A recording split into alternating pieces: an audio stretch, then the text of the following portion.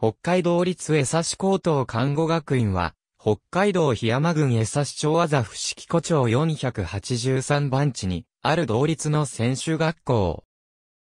2021年4月6日、同学院の教師から、あんたを指導する価値がない、顔も見たくないし、授業にも出てほしくない、頭がおかしいのか、始末書が完成しないと強制退学になる。どうせ留年するのだから、取得した単位を持って他の学校に移ったらなどの誹謗中傷や強圧的な態度で休学を進めたほか、意味不明の文字による添削で課題の再提出を要求し、30枚以上の反省文を提出させるなどの生徒に対するパワーハラスメントが常態化していることが問題となった。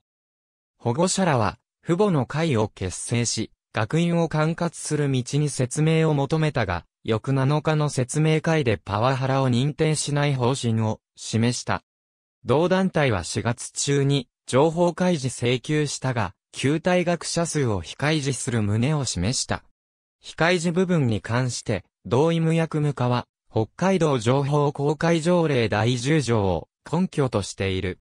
しかし、2021年10月12日に、第三者調査委員会は2015年から2020年度までの101事案中52件をハラスメントを認定し、11人の教員が関与したと発表した。なお、2019年に高圧的な指導が原因とする男子学生が自殺する事件が発生した。